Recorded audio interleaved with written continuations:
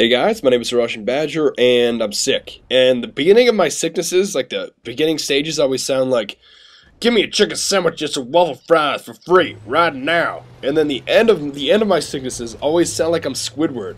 Like right now, I'm in the Squidward stage because my my cold is on its decline. It's it's weird because I mean I would rather do a commentary in the chicken sandwich voice compared to the Squidward, like I have some kind of nasal deficiency, like I'm living next to this guy named SpongeBob who lives in a pineapple, but that's a different story. I, I don't know if all of you are familiar with SpongeBob, maybe not.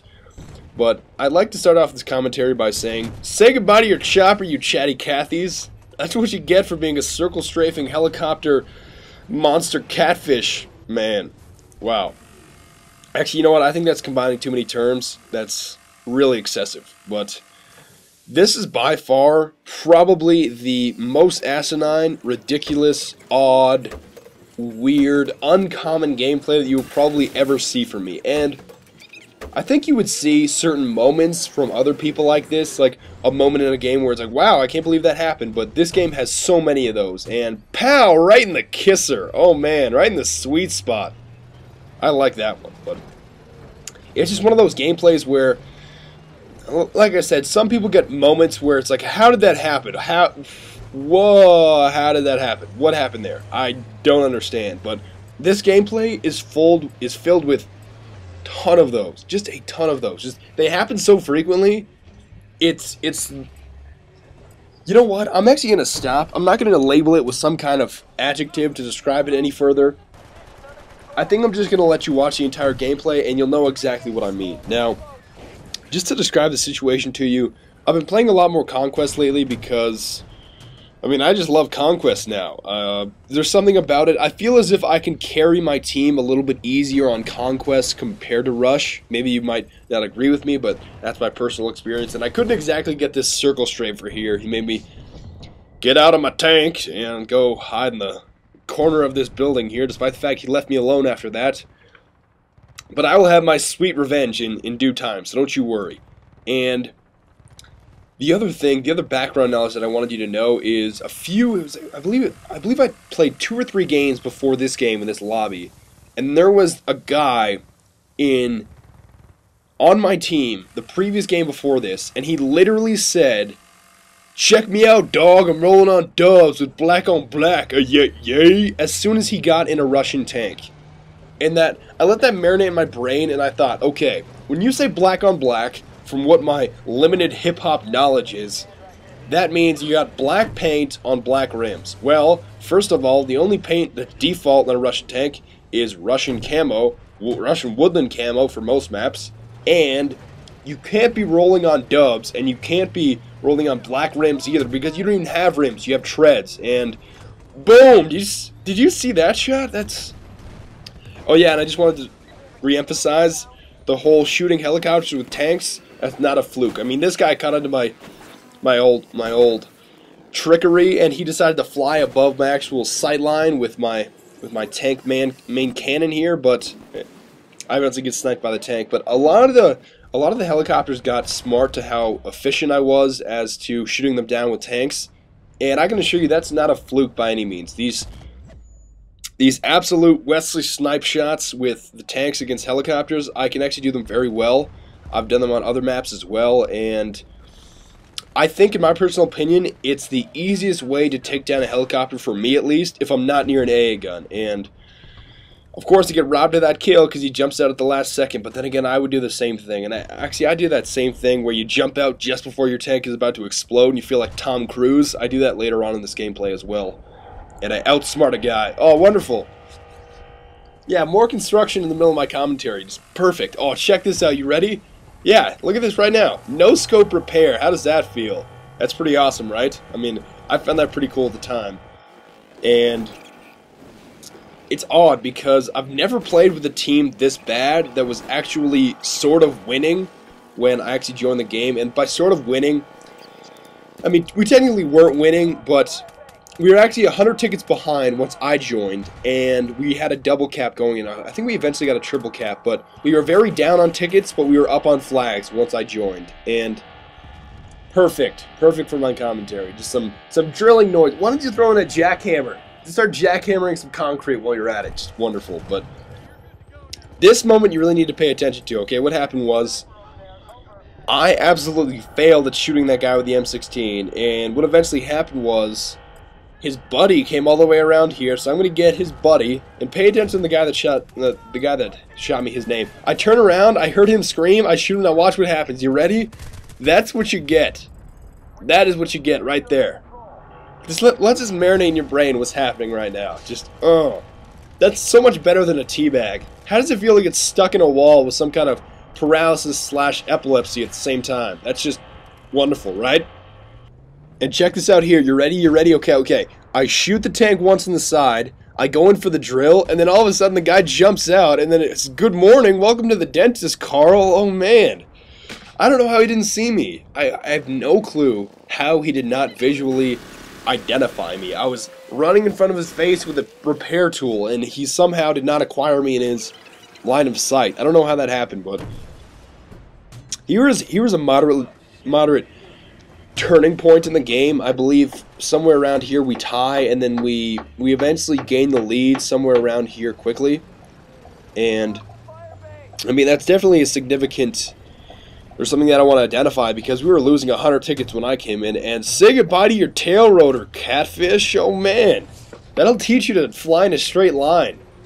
And isn't it perfect that you hit the tail rotor? Isn't that so stereotypical? Like in movies, they just always happen to hit the tail rotors that you flip around for 20 minutes while you have some kind of dramatic monologue and they have to hit the parachutes and you hit some kind of red button. It's like an emergency eject and it's it's not really consistent with helicopters. Most are more so fighter jets, but I think you guys know what I mean. And here's what I was talking about jumping out the last second. Okay, this guy knows that he's beat because I'm hitting him in his side. He's hitting me in the front. And you always want to keep your front armor because it's a lot more dense and it's stronger. He jumps out, and I say, Oh, I think not, Mr. Tom Cruise. I jump out, I kill him, and look at this. How does it feel to have your cookies jacked? And I know if I say you just got your cookies jacked, and you guys, I, I have to explain the reference to you. Other guy, otherwise you guys are just gonna be left out in the cold. Well, in elementary school, we used to play around in this game of tag, but then everybody hated tag in my elementary school, so then we would all run around with Famous Amos cookies in our hands, and if you tagged somebody, you got their cookies, also known as getting your cookies jacked. And that's where it comes from. Yet again, say goodbye to your chopper for the third time. Third time? I believe it's third time, but no, no, no. Was that no? That's fourth time. That's fourth time. I got the circle strafer. I got the snipe over the hill.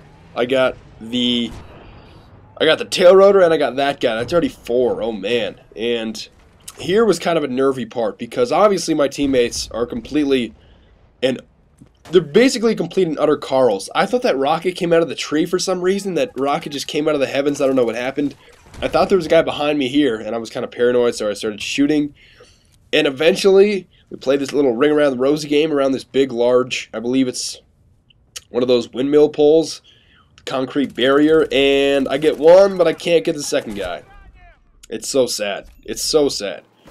And eventually, my team sort of helps me cap C, but they really are not very helpful in this later stages of the game. And there's even one part where I have to commit suicide to actually help out my team. And I mean, I'll explain that when it comes around, but even here, how are we not capping B, or actually getting close to capping B, if there are that many guys at C? I mean, we're capping B right now, but I just thought that we should at least have one to two flags if there's even a few enemies over here because I believe the game started out with six players and then moved it up to nine on nine. And you guys know about the recent server issues, but oh, say goodbye to your tank. Just wonderful. And I didn't see that guy directly ahead of me for some reason. I didn't see him. I just did not see him. He crept up like a like a hill monster and took me out. What do you know? But then again, you know what? I'm gonna spawn on my squad mate, and my squad mate is not even gonna help me cap here. And I take the guy that killed me out, which is just wonderful. But yet again, it took us so long to cap C. We didn't cap B for some reason. I don't know why. And basically, I think the reason that we lost, not only because my team is full of absolute Carls, by far the worst team that I've ever played on, hands down, but look at this guy. Look at where his tank's going. His tank is virtually stationary here. He's not... It should literally be full steam ahead to B. We need a cap. We're already down 30 tickets, and the game's about to end. And he's sitting here. He's sitting here. So, I have nothing else better to do to shoot at this helicopter. And eventually we start losing C, and I think, you know what, if we lose C, we're going to have no chance at B. So I literally say, you were an awful player at this entire game, Carl. I'm not even going to stay in the tank with you. And I suicide to go help Cap Cap C and say goodbye to your chopper yet again. Too bad the guy jumped out. I was a little bit disappointed about that, but we eventually got C capped. I believe, yes, my, my squad mates, my two squad mates were the only two competent, competent players, but really, even they were pretty awful. But in this in this end stage of the game, like I said, we lacked so much urgency. We were dawdling. I mean, obviously there were no vehicles at my disposal. I couldn't use a quad. I couldn't use one of those cars to, to drive to B and try to cap B.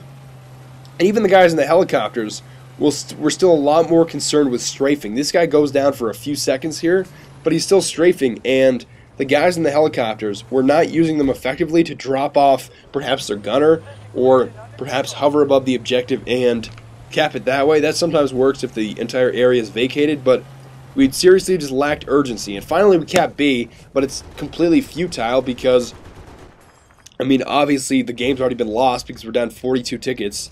And they finally got it that, oh, maybe we might, we might lose if we don't cap B or cap another flag other than C and that's it's too little too late. I mean, obviously we had to lose, and I wanted to explain to you why we lost, but I also wanted to upload a loss because I wanted to kind of keep you guys on your toes as far as I don't always want to upload just flawless victory. Let me see, let me see you pawning nubs for 20 minutes and just bashing some Carl's face in with a knife 12 times. I want to see some more balanced gameplay for myself actually. And look at this. I'm pretty sure that every guy on my team was level 20 or lower. Everybody on their team was level 30 or higher. And, I mean, uh, excluding me, of course, but it's just frustrating. And I want to thank you for putting up with this cold commentary. But until next time, Auf Wiedersehen and Bis bald.